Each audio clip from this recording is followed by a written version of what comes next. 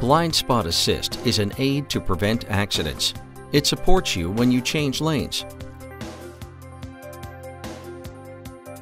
To activate the assistant, use the buttons on the multi-function steering wheel to select the assistance menu item. Now select Blind Spot Assist and press OK to activate or deactivate it.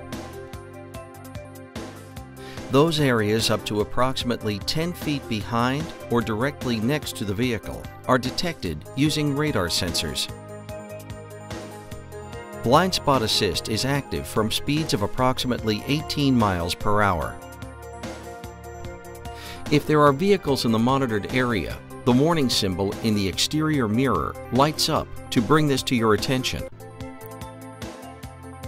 As soon as you switch on the turn signal prior to changing lanes, the arrow will light up red and an additional warning tone will sound to make you aware of a possible collision.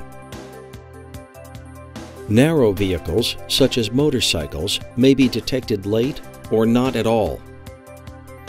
Also, vehicles may not be properly detected if the sensors are dirty. Therefore, always pay attention to traffic conditions and your surroundings.